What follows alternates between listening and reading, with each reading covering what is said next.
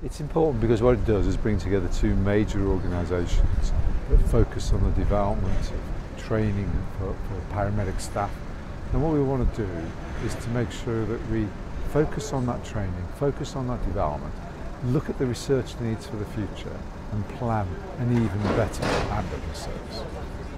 Well, we're really pleased to become the first university ambulance service in partnership with the University of Wolverhampton. Two great organisations doing great things, uh, really ambitious for the future, and the partnership together will mean that we can create even more evidence for improving the ambulance service across the country, not just in the West Midlands, but also to create better training opportunities and better development for our staff so that we can provide even better care for patients and ultimately save more lives.